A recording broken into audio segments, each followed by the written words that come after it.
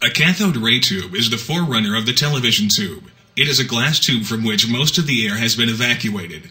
When the two metal plates are connected to a high voltage source, the negatively charged plate, called the cathode, emits an invisible ray. The cathode ray is drawn to the positively charged plate, called the anode, where it passes through a hole and continues traveling to the other end of the tube. When the ray strikes the specially coated surface, the cathode ray produces a strong fluorescence or bright light. When an electric field is applied across the cathode ray tube, the cathode ray is attracted by the plate bearing positive charges. Therefore, a cathode ray must consist of negatively charged particles. We know these negatively charged particles as electrons. A moving charged body behaves like a tiny magnet and it can interact with an external magnetic field. The electrons are deflected by the magnetic field. As expected, when the direction of the external magnetic field is reversed, the beam of electrons is deflected in the opposite direction.